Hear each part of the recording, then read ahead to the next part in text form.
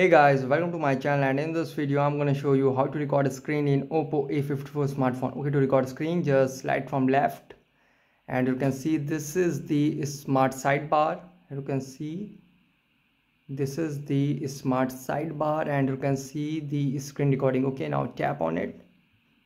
So you can see screen recording statement agree, allow permissions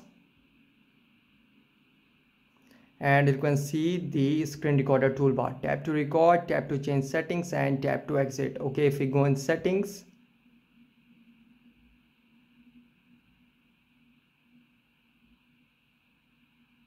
you can also drag and move it. So if we go in settings so here you can see record system sound is enabled. You can also enable record microsoft microphone sound. You can see just tap on it to enable. It you can see record microphone sound is also enabled okay now tap on record. So you can see now the screen is a successful recording. Just tap here to pause the screen recording and uh, tap here to stop the screen recording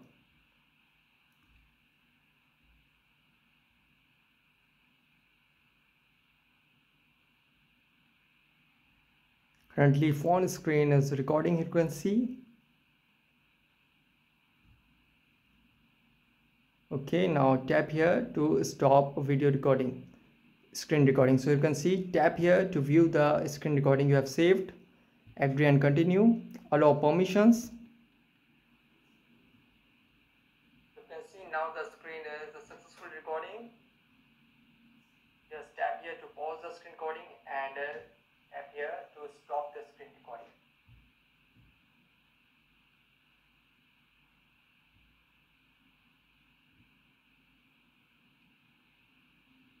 Currently phone screen is recording you can see.